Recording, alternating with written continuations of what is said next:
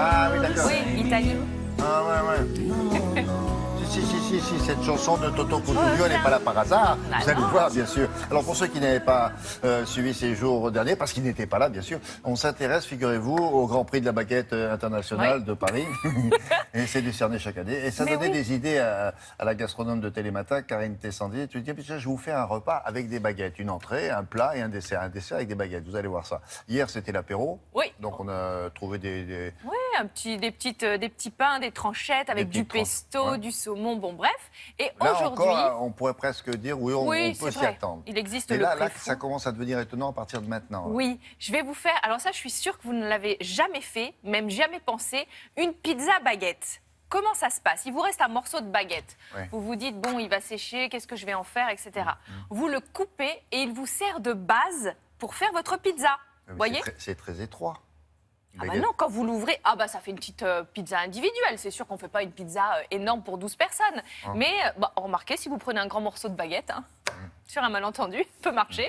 Donc je vais vous montrer comment utiliser Oui. votre pain, votre baguette pour ne pas la gâcher. On y va. Voici la pizza baguette. Je vais vous en faire deux pour le prix d'une. Une avec de la mozzarella, donc avec de la sauce tomate, de l'oignon rouge, du poivron, des champignons de Paris, de la mozzarella, tomates cerises, herbes de Provence. Et puis je vous en ferai une seconde aux épinards. On verra ça tout à l'heure. La fameuse baguette. Bon, celle-ci, elle n'a pas gagné le concours de la baguette de Paris. hein. Non. Vous la coupez en Mais elle est deux. d'époque. Vous Ah voyez, vous coupez Oui. que d'un côté et vous l'aplatissez. Oui, mais vous n'ouvrez pas tout. Ah bah non, le but du jeu c'est de me faire une base, une pâte, une pâte Ah, à attends. pain. Alors ensuite, je vais préparer la garniture. On va y revenir à cette baguette. Qu'est-ce que je vais mettre dessus? On va s'occuper euh, des champignons, on va s'occuper de l'oignon rouge. J'aime bien l'oignon rouge. On va s'occuper du poivron vert. Bien sûr, on va mettre des couleurs sur cette pizza. On va également s'occuper des tomates cerises. Les tomates cerises, vous allez les couper en deux, en quatre, voilà. Ensuite, on va rajouter de la mozzarella qui va fondre évidemment. Ça, c'est de la mozzarella de cuisine. hein. Vous ne faites pas une salade avec ça. hein. C'est juste voilà pour faire fondre au four.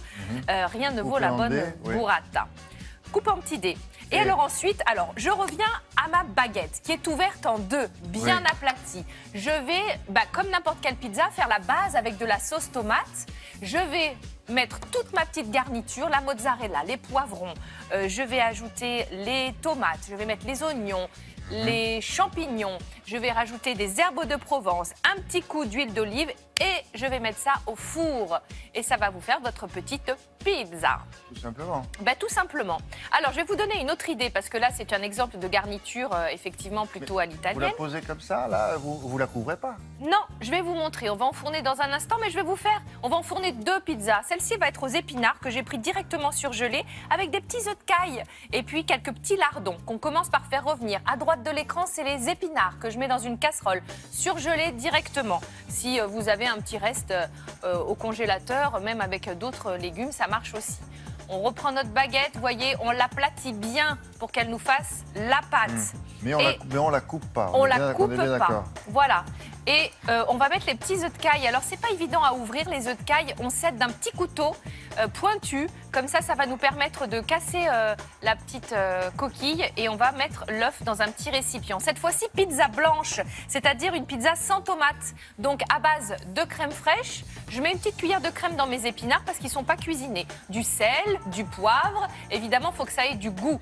Et maintenant, on va. Pizza à l'épinard, c'est bizarre quand même. Bah, ça change. Pourquoi pas On fait des pizzas à tout, vous savez, William. Ah bon? Et puis de toute façon, c'est un peu fourre-tout, hein, j'avoue. hein. C'est aussi une manière d'utiliser les restes et de ne rien gaspiller. Donc je mets mes épinards sur ma pizza blanche, enfin sur ma, ma baguette finalement, et je vais rajouter mes petits lardons, mes petits œufs de caille, un petit tour de moulin à poivre, et je vais enfourner mes deux pizzas baguettes. Donc Pas d'huile d'olive là? Oh bah non, pas là. J'en ai pas mis, il y a déjà des lardons, euh, voilà. Donc vous voyez, on a nos deux pizzas baguettes, on enfourne le tout dans un four bien chaud. Vous avez à mis ça sur quel- euh, du papier là du papier, oui, du papier de cuisson. Papier sulfurisé sur ma plaque de, de four. Ouais. Et on enfourne le tout à 220 degrés, une dizaine de minutes. L'idée, c'est de rendre le pain évidemment bien croustillant, de faire fondre la mozzarella, de cuire les petits œufs de caille. Et à la sortie du four, j'ai rajouté un peu de basilic frais sur euh, la pizza euh, Ouais, tomate mozza. Voilà. Écoutez, c'est une façon d'utiliser votre baguette une façon originale.